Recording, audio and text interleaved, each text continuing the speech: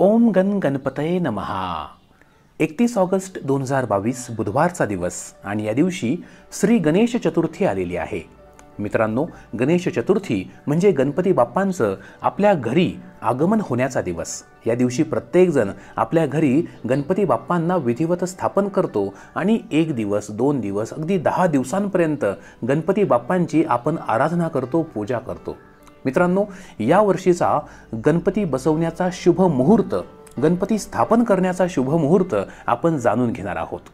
मित्रांनो पहिला अत्यंत शुभ मुहूर्त आहे की ज्या शुभ मुहूर्तावर आपण गणपती बाप्पांची आपल्या घरात स्थापना करू शकता तो आहे सकाळी सहा वाजून पंचवीस मिनिटांपासून ते सकाळी सात वाजून एकोणसाठ मिनिटांपर्यंत. होय या कालावधीत आपण गणपती बाप्पांना अगदी सकाळ सकाळ आपल्या घरात विराजमान करू शकता. दुसरा शुभ मुहूर्त आहे सकाळी सात वाजून एकोणसाठ मिनिटांपासून ते सकाळी नऊ वाजून तेहतीस मिनिटांपर्यंत. या शुभ मुहूर्तावर सुद्धा आपण गणपती बाप्पांना आपल्या घरात स्थापन करू शकता. मित्रांनो जर तुम्हाला इतक्या सकाळ सकाळ गणपती बाप्पांना आपल्या घरात स्थापन करता आलं नाही तर सकाळी अकरा वाजून सात मिनिटांपासून ते दुपारी बारा वाजून एक्केचाळीस मिनिटे हा सुद्धा एक शुभ मुहूर्त आहे गणपती बाप्पांची स्थापना करण्याचा.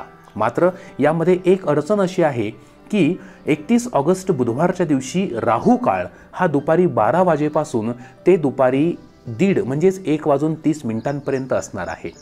परिणामी आपण दुपारी बारानंतर दीड वाजेपर्यंत गणपती बाप्पांची स्थापना या राहू काळामुळे करू शकणार नाही. आणि म्हणून जो मी तिसरा मुहूर्त सांगितला की अकरा वाजून सात मिनिटांपासून ते बारा वाजून एक्केचाळीस मिनिटे यामध्ये आपण थोडासा बदल करून अकरा वाजून सात मिनिटांपासून ते दुपारी बारा वाजेपर्यंत आपण गणपती बाप्पांची स्थापना करा. मात्र बारा वाजेनंतर आपण गणपती बाप्पांना दीड वाजेपर्यंत स्थापना कदापिही करू नका.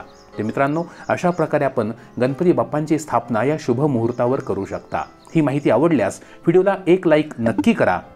कॉमेंटमध्ये गणपती बाप्पा मोर्या किंवा आपल्या आवडत्या देवी देवतेचं नाव लिहा. आणि आपल्या ओनली मराठी यूट्यूब चॅनलवर जर आपण नवीन असाल तर आत्ताच आपल्या ओनली मराठी चॅनलला नक्की सबस्क्राईब करून बेल आयकॉन अवश्य दाबा. धन्यवाद. ओम नमो नारायणा.